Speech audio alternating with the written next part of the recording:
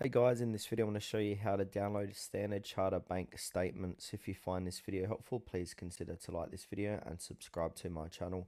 In saying that, let's just jump straight into the video. Alright, so what we need to do is open up a web browser and go to standardcharter.sc.com.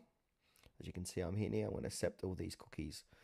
Alright, from here we need to log into your online banking. So click onto where it says online banking and then find your local website. Then once you do that, you need to log on. So you can log in with your credentials. So log into online banking. All right, so from here, we need to put in our username, password, and then click login. If you've forgotten your username, and password, click that button there. Then once you're logged in, look for e-statements and e-advices from the main menu. Then go to view e-statements. Then select the account and statement period you wish to download.